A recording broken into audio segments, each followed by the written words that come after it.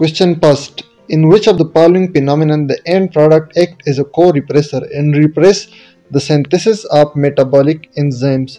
So, हमारे पास वो फिनोमिना या वो मैकेनिज्म जिसमें हमारे पास जो एंड प्रोडक्ट बनता है वो मेटाबॉलिक एंजाइम की सिंथेसिस को सफरेस करते हैं इनहिबिट करते हैं या रिप्रेस करते हैं, उसे हम कहते हैं फ़ीड बैक रिफ्रेशन और जिसमें मेटाबॉलिक एंजाइम की एक्टिविटी को इनहिबिट करते हैं उसे हम कहते हैं फीडबैक इनहिबिशन तो जो फीडबैक रिप्रेशन होता है, इसमें ये एंड प्रोडक्ट जाके डीएनए के साथ अटैच होके मेटाबॉलिक एंजाइम की सिंथेसिस को रिप्रेस करते हैं। और इनहिबिशन में ये एंड प्रोडक्ट जाके मेटाबॉलिक एंजाइम के एक्टिव साइट के साथ अटैच होके उसकी एक्टिविटी को इनहिबिट करते so the correct option is option second feedback repression question second two sugar which differ from one another only in configuration around a single carbon atom or terms.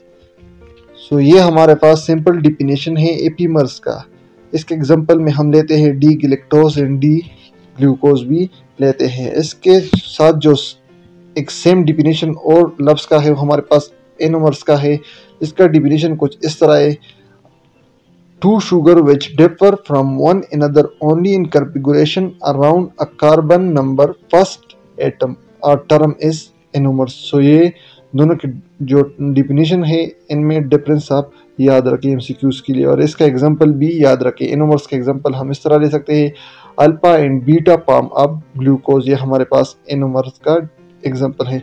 तो यहाँ पर जो correct option है हमारे पास है option और epimers Question 3. A single atom or group of atom which characteristics, property to a compound is called dash. So इसका जो करेक्ट ऑप्शन है हमारे पास है ऑप्शन थ्री फंक्शनल ग्रुप ये फंक्शनल ग्रुप का डिफिनेशन है। Question four which is a characteristic of the fatty acid component in the lipids so fatty acid का करेक्टरिस्टिक कौन सा है? सो so, हमारे पास है option two they are all joint to glycerol through an ester bond हमारे पास lipid में फैटी एसिड और ग्लाइसरॉल होते हैं और ये दोनों एक दूसरे के साथ ज्वाइन होते हैं by the help of ester bond so second is the correct option question five a ketogenic amino acid is dash so इसमें से कीटोजेनिक अमीनो एसिड कौन सा है? सो कीटोजेनिक अमीनो एसिड वो होते हैं जो हमारे पास लास्ट में कीटोन बॉडी में कन्वर्ट होते हैं। और एक होते हैं ग्लूकोजेनिक जो हमारे पास लास्ट में कन्वर्ट होते हैं ग्लूकोज में।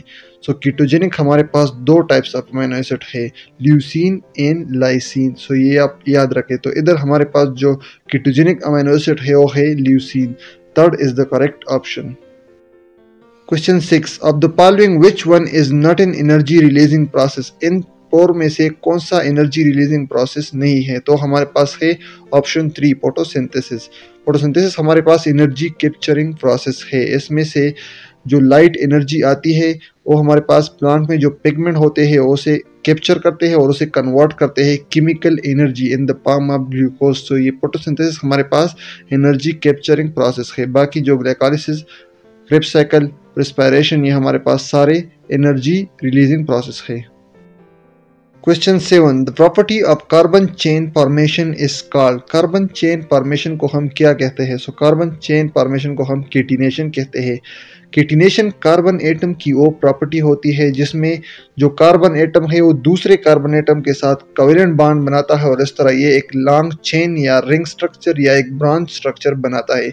तो इस प्रॉपर्टी को कार्बन एटम की इस प्रॉपर्टी को हम कहते हैं catenation question eight anabolic reaction dash so anabolic reaction हमारे पास वो रिएक्शन होते हैं जिसमें स्मॉल मालिक्यूल कंबाइन होकर लार्ज मालिक्यूल बनाते हैं। सही है तो इसमें एनर्जी की रिक्वायरमेंट होती है और इनाबॉलिक रिएक्शन को हम नॉन स्पॉन्टीनियस रिएक्शन भी कहते हैं या इनाबॉलिक रिएक्शन को हम इंडरगोनिक प्रोसेस भी कहते हैं। सो ये याद रखें। So the correct option is option second non spontaneous Question 9. A hormone secreted from the posterior pituitary gland is. So posterior pituitary gland से जो हार्मोन सीक्रेट होता है, उसे हम कहते हैं वेसोप्रेसिन वेसोप्रेसिन का दूसरा नाम है ADH anti diuretic hormone so first is the correct option बाकी जो तीनों है थैरोट्रोपिक हार्मोन प्रोडक्टेन एडिनोकार्टिकोट्रोपिक हार्मोन ये सारे हमारे पास इंटीरियर पिट्यूटरी ग्लैंड से सीक्रेट होते हैं.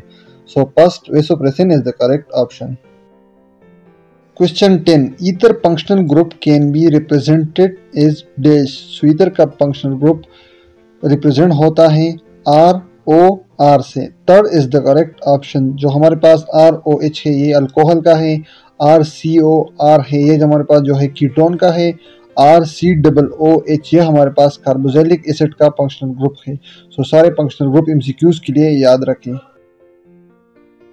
question 11 which of the following picture is not responsible for the actual change in free energy so इसमें से कौन सा है हमारे पास ओ है option three the initial concentration of reactant and products so third is the correct option Question 12. The process of conversion of pyruvate to glucose is dash. So, जो नॉन कार्बोहाइड्रेट सोर्स होते हैं example pyruvate lactate glycerol amino acid ये सब जब glucose में convert हो जाए, जिस प्रोसेस के ज़रिए, उस प्रोसेस को हम कहते हैं ग्लूकोन्यूजेनेसिस और इसके अलावा जो ग्लाइकोलाइसिस है, इसमें क्या एनर्जी प्रोड्यूस होती है ग्लूकोज पैरोविक एसिड में चेंज होता है ग्लूकोजिनोलाइसिस है, जिसमें ग्लाइकोजन ग्लूकोज में कन्वर्ट होता है तो हमारे पास जो इसका करेक्ट ऑप्शन है वो हमारे पास है gluconeogenesis first is the correct option जिसमें पायरोवेट ग्लूकोज में कन्वर्ट होता है Question 13. In the absence of oxygen, glycolysis will lead to the production of dash. So oxygen की गैर मौजूदगी में ग्लाइकोलिसिस से जो एंड प्रोडक्ट बनता है उसे हम कहते हैं लेक्टिक एसिड और ऑक्सीजन की मौजूदगी में ग्लाइकोलिसिस से जो एंड प्रोडक्ट बनता है उसे हम कहते हैं पैरोविक एसिड्स सो so, यहाँ पर in the absence of oxygen हमारे पास है lactic acid third is the correct option question 14 F A D H is produce during dash and citric acid cycle so A P D H हमारे पास produce होता है जब succinate convert होता है प्यूमरेट में. So first is the correct option जब succinate fumarate में कन्वर्ट होता है तो उस time A P D H produce होता है सेट्रिक एसिड साइकिल में. Question 15. Fatty acid can be transported end to end out of the cell membrane by dash. So fatty acid हमारे पास transport होता है बाय पिसिलिएटेड ट्रांसपोर्ट प्रोसेस के ज़रिए और ये पेटी एसिड की ट्रांसपोर्ट को कौन पिसिलिएट करता है ये एक ट्रांसपोर्ट प्रोटीन होता है जैसे हम पेटी एसिड ट्रांसलोकेस कहते हैं, उस पिसिलिएट करता है पीटी एसिड की ट्रांसपोर्ट को and to and out of the cell membrane so यहाँ पर जो करेक्ट ऑप्शन है वो है option second facilitated transport question 16 depression treatment is the so depression का ट्रीटमेंट क्या है? सो so, डिप्रेशन का ट्रीटमेंट है हाइड्रोक्सी ट्रेप्टोपेन जो हमारे पास फ़र्स्ट ऑप्शन है, ये हमारे पास इज़ सीरोटेनिन का प्रिकर्सर होता है, ये सीरोटेनिन की प्रोडक्शन को इंक्रीज करता है, जिसकी वजह से जो मूड है, वो इम्प्रूव होती है और डिप्रेशन कम हो जाती है। So correct option is option first hydroxy tryptophan question seventeen A T P stand for dash so A T P का मतलब है adenosine triphosphate first is the correct option Question 18. Following are the examples of extracellular receptors, except इसमें से कौन से extra cellular receptor है एक के अलावा? तो हमारे पास है G protein couple receptor receptor tyrosine kinase integrin ये सारे हमारे पास एक्स्ट्रा सेलुलर रिसेप्टर है। एक जो स्टीराइड रिसेप्टर है, ये हमारे पास इंट्रा सेलुलर रिसेप्टर होता है। सो यहाँ पर four is the correct option जो हमारे पास एक्स्ट्रा सेलुलर रिसेप्टर नहीं है। Question 19. Both alpha helix and beta plated sheet conformation of proteins were proposed by Dace. So इसका जो करेक्ट ऑप्शन है हमारे पास है option second following and core Question number 20. RNA on hydrolysis does not yield which of the following?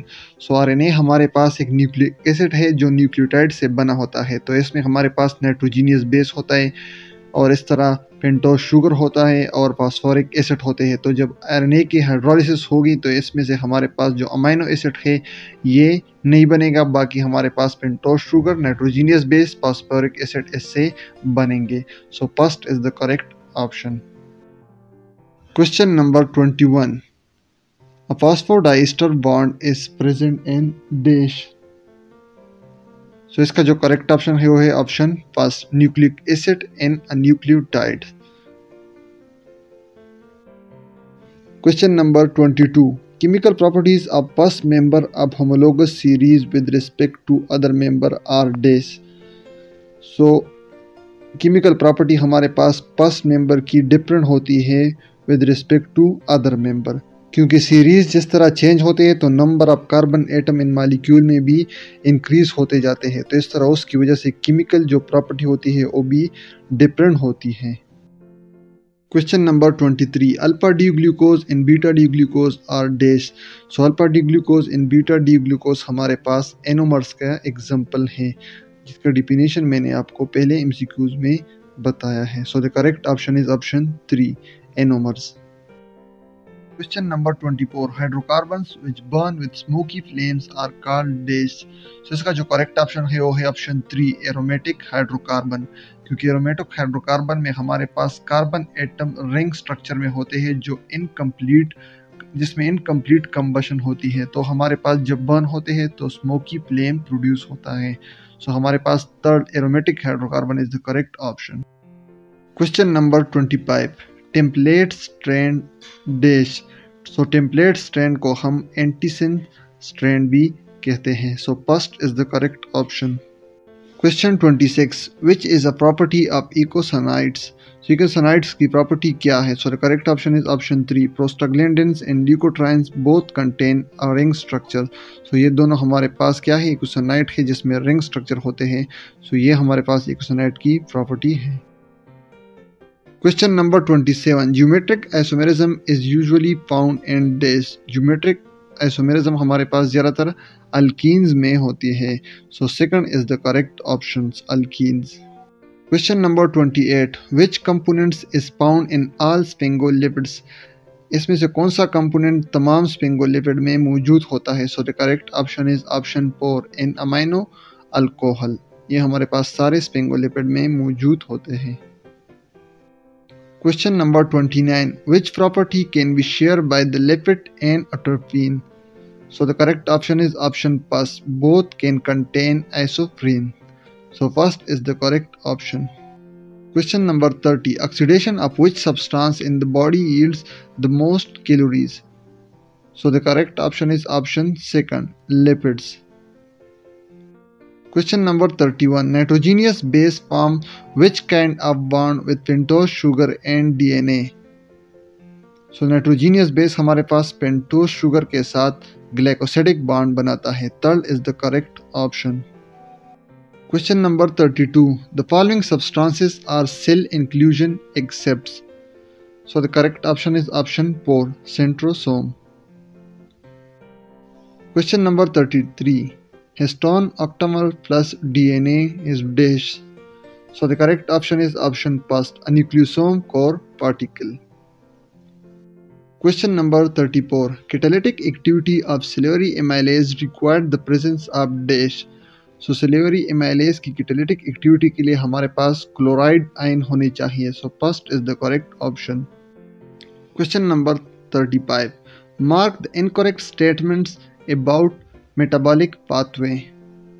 So the correct option is option 3. They follow the only oxidative process.